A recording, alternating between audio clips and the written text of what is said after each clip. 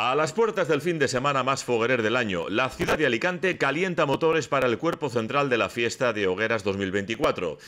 Jueves 20 de junio, con las hogueras infantiles plantadas y a la espera de conocer los premios por cada categoría. Por la noche, planta de los monumentos adultos y de las portadas de barracas. La programación de actos no puede ser más intensa a partir de ahora para alicantinos y los centenares de miles de personas que van a visitar la ciudad durante las fiestas.